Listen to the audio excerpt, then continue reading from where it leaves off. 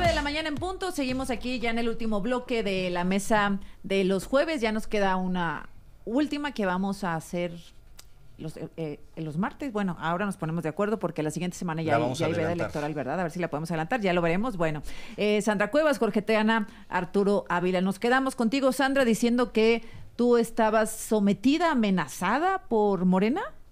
Así ha sido durante tres años. O sea, desde que yo llegué, eh, así ha pasado. Pero el tema es que no soy yo. Mi, mi reflexión es la siguiente. Si a mí me pasa que soy una figura política, que soy una figura polémica, que levanto la voz y gracias a Dios me escuchan, ¿qué pasa con la gente que no, que no se escucha su voz? Tú ayer anunciabas que ibas a hacer un señalamiento contra Ricardo Monreal. El día de hoy no lo vas a hacer hoy por eh, que suspendieron las nos pidió nos pidió el senador Dante Delgado que por lo que está pasando y es entendible por lo que está pasando en Nuevo León hoy detuviéramos nuestras actividades. Estamos pendientes de lo que ocurre en Nuevo León, estamos pendientes a lo que necesite la gente, entonces el día de hoy se suspendieron las actividades, pero hoy mismo estaré yo brindando información cuándo va a ser la rueda de prensa. E, es importante hablar de los temas delicados, de los temas graves que, que provoca Morena. Yo durante tres años estuve, estuve de verdad asoleado por ellos. Me quisieron meter al reclusorio, quisieron destituirme, no una vez, tres veces. Me inhabilitaron tres días por el cierre de un deportivo, por temas de protección civil, los cerré 41 días y eso fue suficiente para que a mí me destituyeran. ¿Cuánta gente vemos? ¿Cuánta gente vemos? Les sabemos, les han encontrado casas. Ahí tenemos a toda la corrupción de Morena, les han encontrado casas, les han encontrado cuentas en el extranjero y no les pasa nada. A ver, Arturo, pues...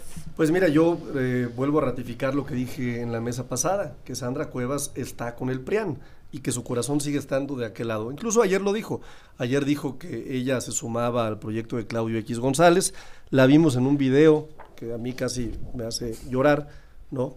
Y yo nada más le quiero decir a Sandra que no pertenecería a una fuerza política, pertenecería a una marca registrada por Berta Xochitl Galvez. Es decir, tu futuro político está en una marca registrada. O tendrían que negociar con ella seguramente la cesión de derechos de la marca, porque tanto Fuerza Rosa, Marea Rosa, Fuerza y Corazón por México y otras 45 marcas más están registradas por ellos. Déjame decirte que Claudio X González es hijo de un empresario que fue el más cercano a Carlos Salinas de Gortari en esa época.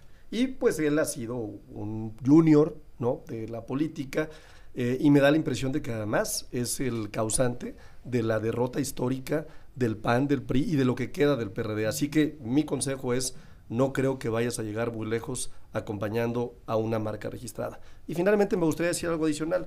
Dice Jorge Triana, eh, datos económicos, como siempre inventados. Fíjate, la CEPAL dice que vamos a crecer un 2.5% después de Estados Unidos. No solamente eso, somos el lugar con menos desempleo a nivel mundial. Aquí están los datos. No son datos míos ni son datos inventados. Estamos en el top 5 de salarios de América. Top 5. No solamente eso, en 2024 registramos récord histórico en inversiones directas. No, no solamente eso.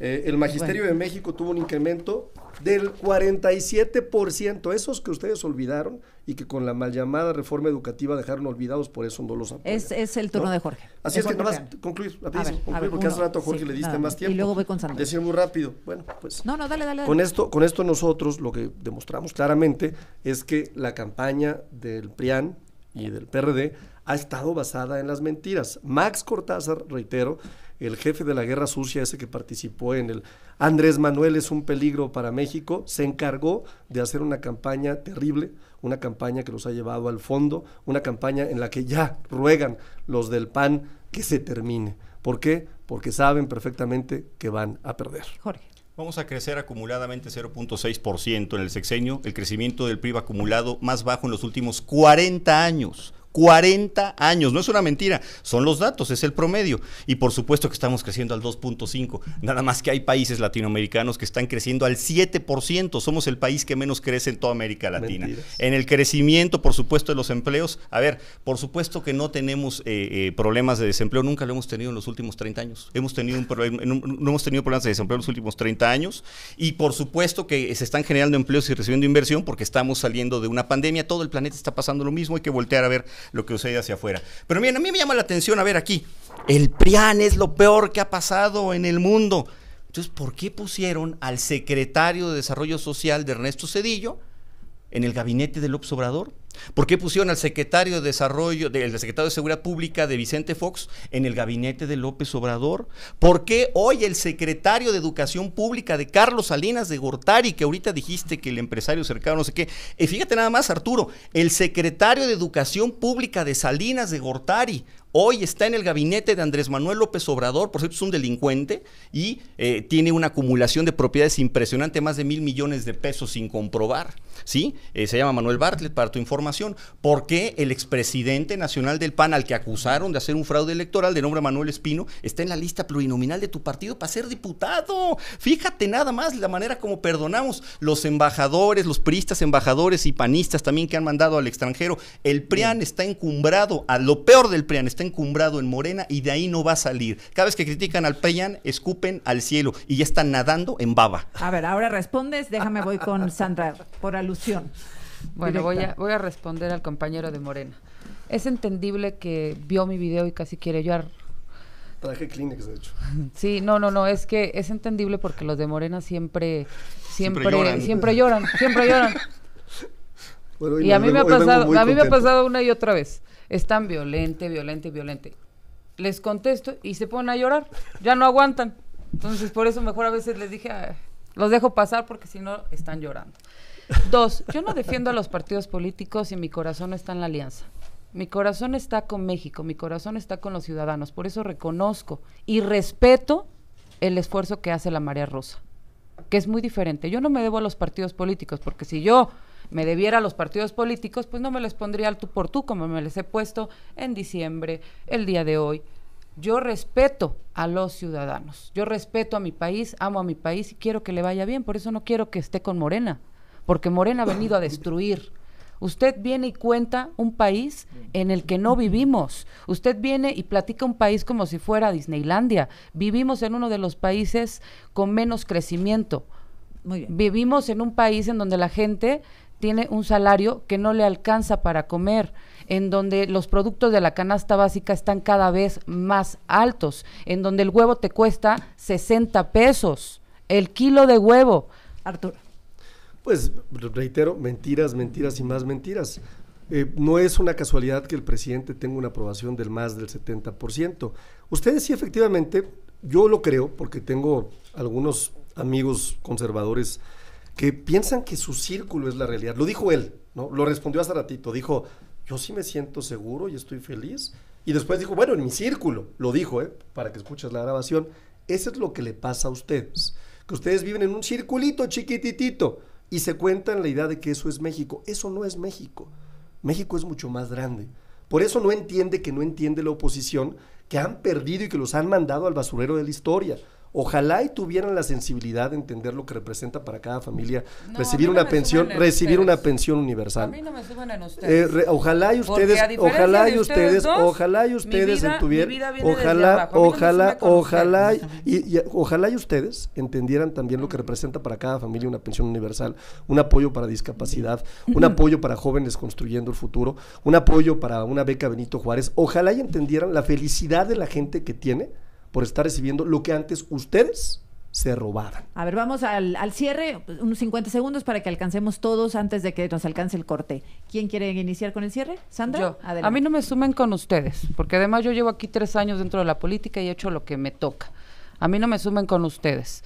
Y no es suficiente con los programas sociales, es necesario invertir en infraestructura, en seguridad, en que los políticos no se roben todo lo que se roban, en que ustedes, los políticos, no manden a sus hijos al extranjero mientras en las escuelas los niños se llenan de piojos porque no hay ni techos, porque tienen unos baños asquerosos. Entonces a mí no me sume con ustedes porque no somos iguales. Yo vengo desde abajo, me he forjado desde abajo, sé lo que es la pobreza, sé lo que es subirse al metro que no sirve, al metro que ustedes no le dieron mantenimiento, sé lo que significa la pobreza, sé lo que significa el trabajo de los comerciantes, el trabajo de la gente que trabaja en los mercados públicos, lo que es ganar el salario mínimo. Entonces a mí no me sume con ustedes. Ustedes, la Alianza y Morena, esos sí son ustedes los que se han venido a robar y a hacer pedazos este país. Arturo Ávila.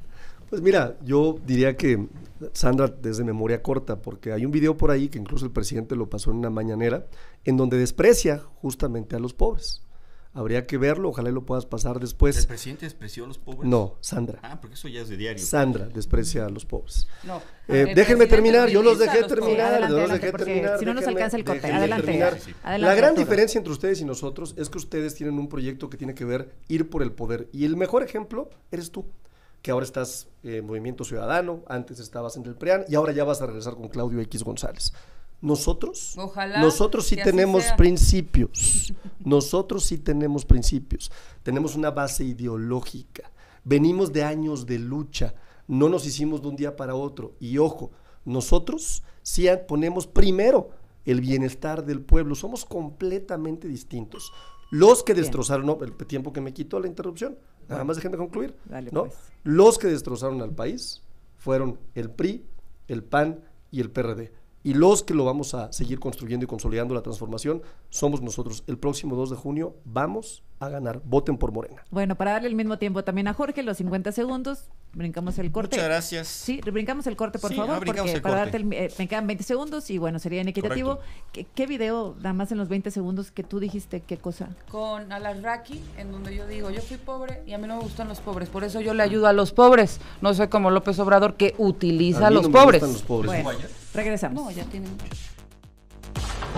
Las 9 con 16, bueno, para hacerlo más equitativos posible con el tiempo, eh, faltaban los 50 segundos de cierre de Jorge Triana. Adelante, Jorge. Gracias. Yo lo único que quiero comentar es que en la próxima elección, en 2 de junio, eh, nos vamos a jugar en nuestro resto, nos vamos a jugar mucho, nos vamos a debatir entre eh, libertades o una amenaza creciente, un régimen autárquico, es decir, un régimen liberticida. ¿Por qué? Pues las pruebas están a la vista de todos.